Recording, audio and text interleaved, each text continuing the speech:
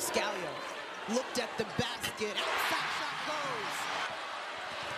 Clark, her first step back of the evening. It's good. Affolter. Little hesitation there under the rim. Fago gets to her spot. Vargas before the buzzer. They have some play calls. Oh! Behind the back pass. Didn't work out. Garzon. It's good.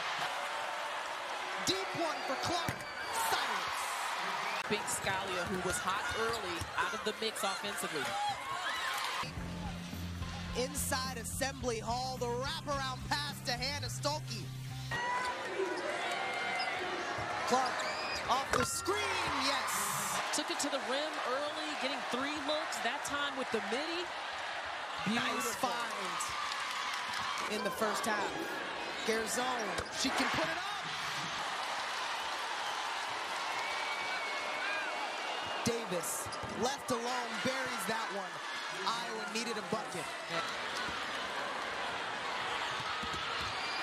Over 50% in transition. The clear out on the backside so no one can help. Martin, quick first step there.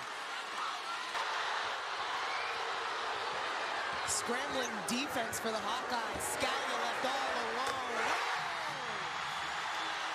Martin picks up one last shot. Vargasser will hold it.